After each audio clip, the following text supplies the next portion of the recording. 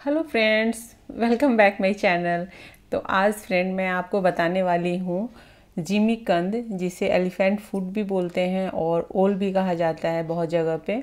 इसकी आज मैं आपको चटनी बनाना बताऊँगी और इसे आप कितने दिनों तक आराम से रख के खा सकते हैं आज मैं वो भी बताऊँगी आपको। तो यहाँ मैंने जिमीकंद को लिया है ओल को जिसे सुरन भी बोलते हैं। इसे मैंने लिया है इसके आ, मैं हाफ़ को ही बनाने वाली हूँ।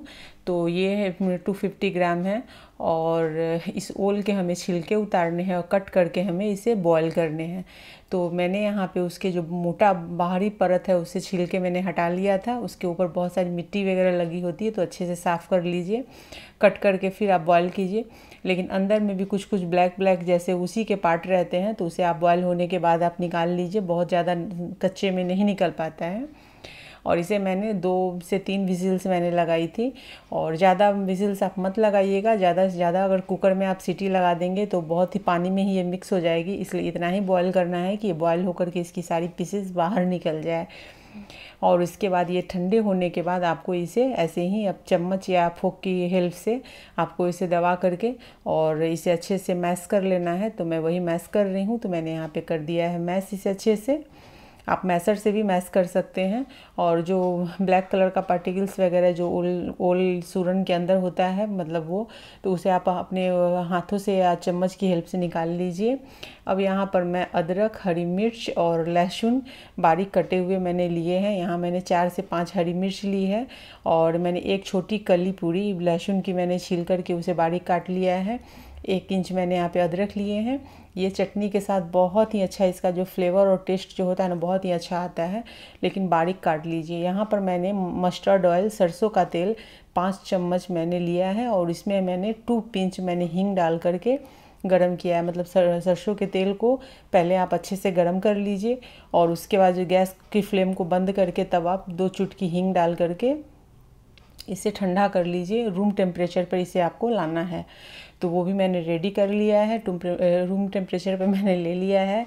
और अभी यहाँ पे मैंने चूरन को भी मैंने अच्छे से मैश कर लिया है और यहाँ पर मैंने लिया है नींबू। तो नींबू जो है ये बहुत ही लेमन जूस इसमें डालना बहुत ही ज़रूरी होता है।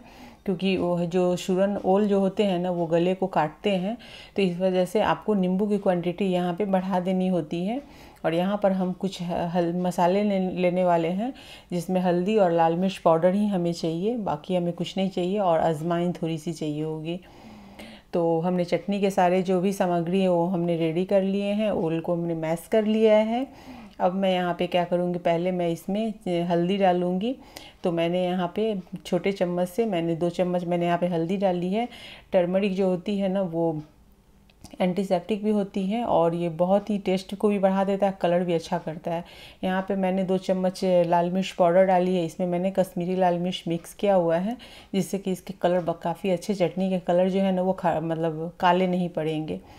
और हल्दी डाल डालने का भी पर्पस वही होता है। और यहाँ पर मैं सॉल्ट डाल रही हूँ, नमक जो है वो आपको अपने स्वाद के अनुसार ही डालना है टेस्ट के अकॉर्डिंग तो यहाँ मैं चार चम्मच भर के मैंने नमक डाले हैं। बाद में आप टेस्ट करके देख लीजिए, जब चटनी बनने के बाद अगर आपको नमक कम लगे तो थोड़ी बहुत आप एक्स्ट्रा डाल सकते हैं। लेकिन शुरुआत में कम ही डालिएगा, ज़्यादा चटनी में नमक हो गई तो बाद में आप उसे कम नहीं कर सकते, लेकिन कम होगी तो आप उसे बाद में बढ़ा सकते हैं। तो अब इस मसालों को मैं अच्छे से पहले यहाँ पे थोड़ा मतलब मिक्स कर रही हूँ, लेकिन क्या है ना कि ये ओल जो है ना, इसमें चम्मच चल नहीं रही है। तो मैं अब पहले नींबू के रस इसमें ऐड कर देती हूँ। तो नींबू मैंने बड़े वाले लिए हैं और मैंने यहाँ पे दो नींबू लिए हैं। तो नींबू, लेमन जूस और ये जो लेमन मैंने लिया है ना, इसमें काफ़ी अच्छी क्वांटिटी में जूस है। तो अच्छे से हम यहाँ पे जूस ऐड कर देंगे, इसके अंदर डाल देंगे। तो क्योंकि शुरन, कोई कोई शुरन ओल जो होते हैं ना, वो गले को काटते हैं। तो बच्चे अगर खा ले तो थोड़ी प्रॉब्लम हो जाती है, इसलिए आप यहाँ पे नींबू अच्छे से डालिए, क्योंकि अगर ऐसे डालेंगे ना तो इंस्टेंट आप खा सकते हैं। जैसे कि मैंने आपको बताया है कि ये इंस्टेंट आप बना करके तुरंत शुरू हो सकते हैं, खा सकते हैं। कोई मतलब इसे, ऐसा नहीं है कि हाँ दो दिन, तीन दिन बाद ही शुरू करेंगे। हाँ लेकिन दो दिन के बाद इसके टेस्ट काफ़ी अच्छे और बढ़ जाते हैं, बहुत अच्छे हो जाते हैं टेस्ट इसके। मतलब खट्टापन इसमें बहुत बढ़ जाता है टेस्ट बढ़ जाता है, जो हम मसाले ऐड करते हैं उसके। लेकिन ऐसे जिस तरीके से मैं बता रही हूँ ना तो इसे डाल, बना करके आप तुरंत आप एक घंटे के बाद आप परोस सकते हैं, खा सकते हैं और टेस्ट अच्छा लगता है, बुरा बिल्कुल नहीं लगता है लेकिन दो दिन के बाद से इसके टेस्ट काफ़ी बढ़ जाते हैं। तो यहाँ पे मैंने पहले लेमन जूस को डाल दिया और अच्छे से हम इन्हें मिक्स करेंगे। और मैं जिस तरीके से आपको ये चटनी बनाना बता रही हूँ ना, ये बिल्कुल भी बाद में जाकर इसके रंग जैसे होते हैं ना जैसे जैसे ओल की चटनी पुरानी पड़ती है ना शुरन की तो उसके कलर काफ़ी मतलब डल हो जाते हैं। तो और किसी भी खाने के जब कलर अच्छे होते हैं ना तो मतलब देखकर खाने का मन भी होता है, ये तो आपको भी पता होगा। तो इसके कलर बिल्कुल ही ख़राब नहीं होंगे, क्योंकि हमने यहाँ पे जो भी ऐड किया है ना, हल्दी और लाल मिर्च पाउडर, ये इसके कलर को बनाए रखेगा। साथ में हमने नींबू के रस भी डाले हैं, वो भी। और उसके बाद अभी और क्या मैं डालने वाली हूँ, वो भी आप देखते जाइए। अब यहाँ पर हमने जो बारीक कटे हुए हरी मिर्च, लहसुन और अदरक हमने ली थी, उन सबको हम मिक्स कर देंगे। Garlic green chilli and ginger को यहाँ पे ऐड कर देना है। तो गार्लिक हमने पूरे एक मैंने उसके कली लिए थे। जो ग्रीन चिली है वो मैंने चार लिए और जिंजर मैंने एक इंच की लिए उसे पतले पतले स्लाइस कर लिए थे। आप चाहे तो कद्दूकस कर लीजिए। अब यहाँ पर जो हमने ऑयल लिया था, यहाँ पर मैंने चार बड़े चम्मच मैंने ऑयल गर्म किया था और इसमें ऑयल की जो क्वांटिटी है ना, वो थोड़ी अच्छी होनी चाहिए क्योंकि ये जो है ना, यही आपको अगर बाहर चटनी को रख के खाते हैं ना तो पंद्रह दिन तक आप आराम से खा सकते हैं, बिल्कुल भी ख़राब नहीं होगी। बस रखने का जो तरीका है, वो मैं आपको बताऊँगी और फ्रिज में रख करके तो आप दो से तीन महीने खा सकते हैं। यहाँ पे ये जो है ना, हींग है, हींग की जो हमने इसमें ऐड किए थे ना, वो हींग नीचे में बैठा है तो उसे आप अच्छे से निकाल लीजिए। और हींग जो होती है ना, वो चटनी वगैरह के स्वाद को भी बढ़ाती है और इसे जल्दी ख़राब भी नहीं होने देती और पचने में भी आसानी होती है। खाने के बाद इससे जो गैस वगैरह की लोगों को प्रॉब्लम होती है ना, वो बिल्कुल भी नहीं होती अगर आप हींग ऐड करते हो तो। तो इसलिए हींग बहुत ही फ़ायदेमंद होती है। चटनी, अचार वगैरह में तो एकदम से इसे डाला ही जाता है या दाल तड़के वगैरह में।